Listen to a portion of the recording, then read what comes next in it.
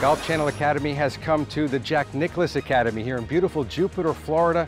It's a perfect day for instruction. We're about to spend 30 minutes with the greatest champion this game's ever known. Whether you're a mid-handicapper, high handicapper, low handicapper, Jack Nicklaus is here with a gift of instruction to help your game get better. Now, Jack, it's been interesting watching you over the years. 51 years ago, you won your first amateur championship, 19 more majors beyond that. Tenacity, mental toughness has always been a hallmark of your game. Is that what separates you from other golfers, other champions? Well, David, you know, when you're when you're playing, you don't think about that. You just go do it. And uh, you know, I don't know what separates anybody. I, all I've done is going out and tried to do the best I could do, and whatever result I got is the result I got. And uh, sure, maybe I was uh, mentally tough in, in, in, some areas, but uh, then again, um, you know, I think I had my deficiencies, and then I worked on those. Practicing with a purpose is something you've spoken about throughout your career. And let's talk about the amateur days, talk about when you started, and some of our high handicappers. The grip is the only contact a player has with the golf club. Can you tell us about the importance of the grip and what you do to grip the club properly? Well, you know, I think that uh, when I'm trying to teach a youngster, uh, anybody, I, I, always say the foundation of a golf swing is the grip. And if you're, if you're not willing to put the golf club in your hands properly, you say, oh, well, this feels better. Well, you know, when you're seven or eight years old, okay. But if, but even at seven or eight years old, you can you can develop a foundation. And a foundation to me is you know your hands and your body function so that they hang to your side. Now you take those hands, put them together, separate them and close them. Whether you use interlocking, overlapping, baseball, I don't think that makes a lot of difference. But as this club is sitting here at my side, that's where I want to grip it.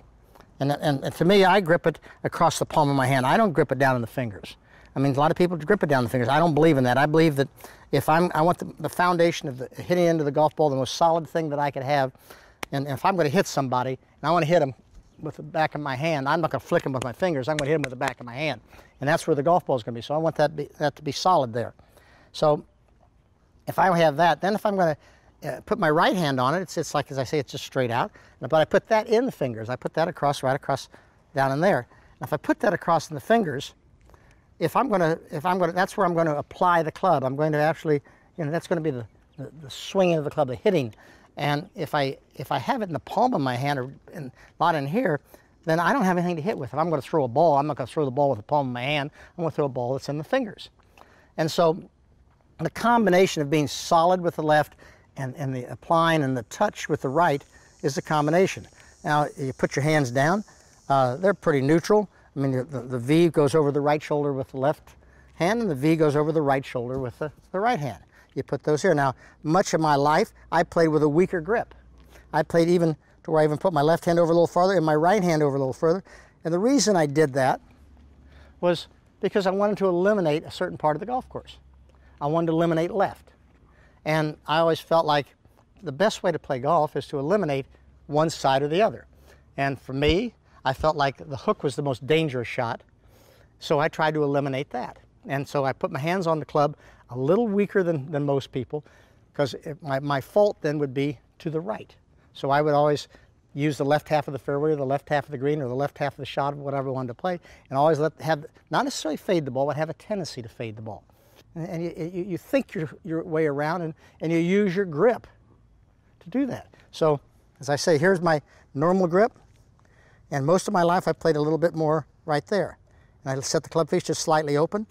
And then I just went ahead and hit the ball and tried to hit it as hard as I could with the right because I knew that I'd never turn it over. I'd always, if I got it just dead perfect, it would be pretty straight. If I didn't quite get it, it would just drop to the right.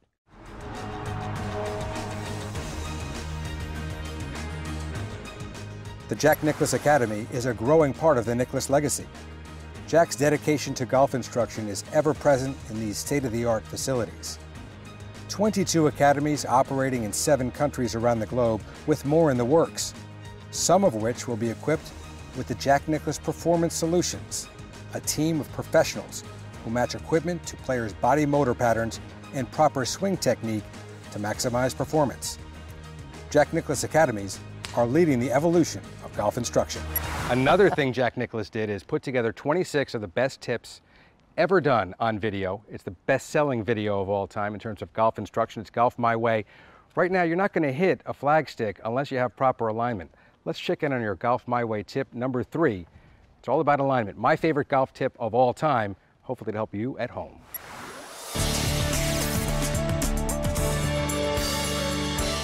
The best golf shot in the world really doesn't make any difference if it isn't aimed at the target.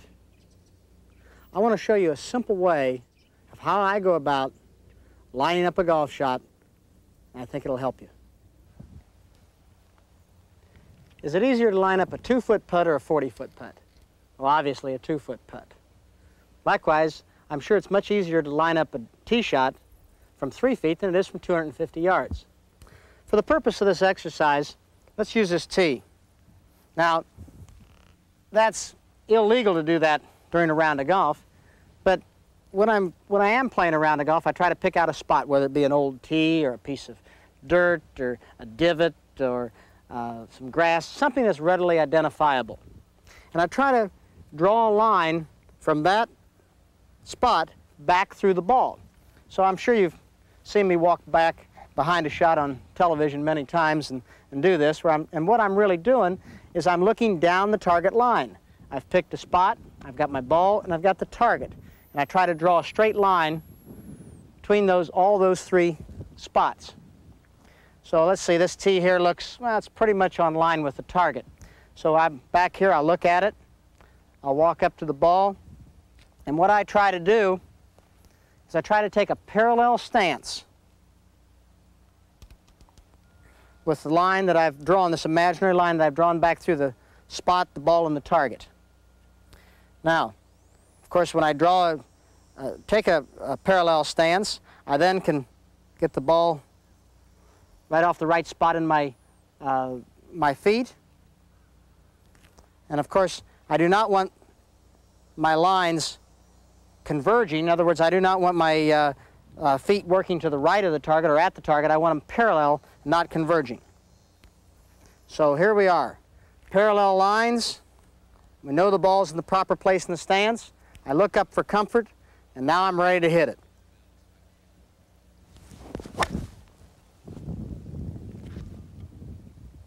Not too bad for an old man, huh?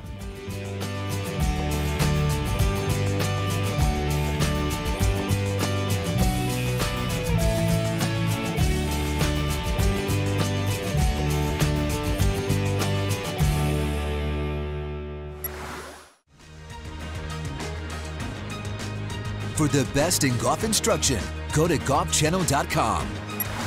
If you were a golf fan in 1986, you know where you were Masters Sunday because you were watching this man claim in one of the most dramatic events in the history of the game.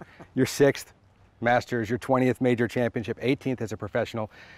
We didn't know at the time what was going on inside the ropes, just that it seemed like you were birdieing every hole from nine on in. But tell us about it, 16, there with your son, obviously a poignant moment for anyone watching. But that tee shot was so key, and Jackie was so interested and so rooting for you when the ball was in the air. What do you say? Well, Jackie, of course, you know, at 15 when he jumped up in the air on that eagle, I said when he went to North Carolina, if I known he jumped that high, I'd been playing basketball rather than golf. But we got to 16, and it was 175 yards that day. The pin was right behind the left bunker. Now you can't, couldn't really see the bottom of the of the pin. At least at my height, I couldn't. Jackie might have been able to see it, but I couldn't see the bottom of the pin. The obvious mistake there is is left uh, I'm probably, I need to get myself in there because Ballesteros has really got me by about two or three shots still at that time. And, uh, but I wasn't really worried too much about what anybody else was doing. I really needed to do what I needed to do. And of course, that's, that to me is a, is a tip in itself. Everybody worries about what everybody else is doing. You really can't. The only person you can worry about is yourself because mm-hmm. you're the only person you control. It doesn't make a difference what anybody else is doing. They're human. They're going to make mistakes too. Well, anyway, I lined it up maybe just a couple of feet right of the hole set myself pretty square, and I hit the shot, and I, I mean, I made perfect contact with it, and I'm sitting there looking at the shot, and I see the ball take off and going away. I didn't even bother to look at it anymore. I knew where it was. And I reached down, picked up my tee, and Jackie says, be right. And I made the cockiest remark I've ever made that I can ever imagine I ever made. And go, I just picked up my tee and says, it is. and, I, and it was, because I knew where it was. And of course, it almost went in the hole, hit just past the hole, and then came right back, stopped about two and a half feet from the hole. And I made the putt for the birdie you know, the things and the interaction that I had with my son mm. was worth far more than winning the tournament itself. The Masters was great, but to have your son with you and share that with you, that was really special. As far as that back nine is concerned, something the low handicappers maybe have, have trouble with is staying on a roll, keeping the momentum going when they're reaching numbers, as you shot 30 on that back nine, that they don't normally it's shoot. tough. How do you stay on it? It's tough. You get nervous. You say, how, how do I keep going? How do I sustain this? How do I make this out? How do I move forward? And so the average golfer, uh, when they're trying to come down the stretch, I mean, you got to understand what you can do, what you think you can do, but don't do it to just, just recklessly go after it so, so one shot ruins the whole right. thing. You've got to play good shots, good solid shots. You've got to take advantage of what's there. You take, take advantage of a situation when it, when it presents itself. If it doesn't present itself, you don't get, don't get uh, extra risky. You still have other shots to play. Just, just, just play smart. And so if you prepare yourself and think of what works for you, if it's a deep breath or if it's looking back and just sort of taking uh, and assessing the situation or whatever it might be for you, and I think that'll help. Well, we're going to finish this in the next segment. So in the meantime, we're going to take a deep breath, let our folks at home, hopefully you've enjoyed the first three segments. We've got one more left with Jack Nicklaus, golf his way right here on Golf Channel Academy. Final segment coming up. Don't go anywhere.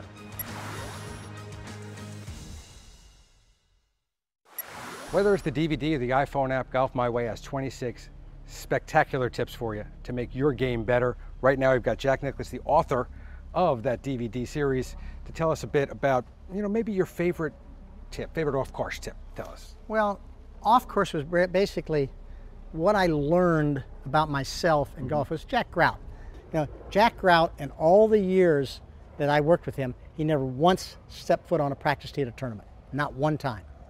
And what Jack taught me was to uh, understand what my what I how I played, the mistakes I would make, and be able to adjust my own my game on the golf course. Mm-hmm. Bob Jones said that to me. He said he used to run back to Stewart Maiden, and he said his seven lean years, which lean for Bob Jones from age 14 to 21, right.